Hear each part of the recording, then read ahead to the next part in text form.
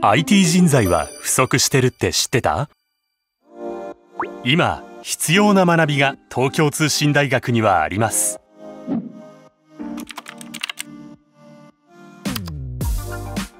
IT 情報システムコースは進化し続ける情報テクノロジー分野について深い理解を習得するコースです。プログラミングの基礎から実践的なシステム開発まで体系的に学びます。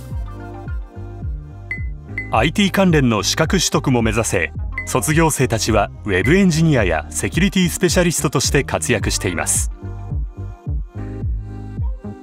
気になったらオンラインキャンパスをチェック。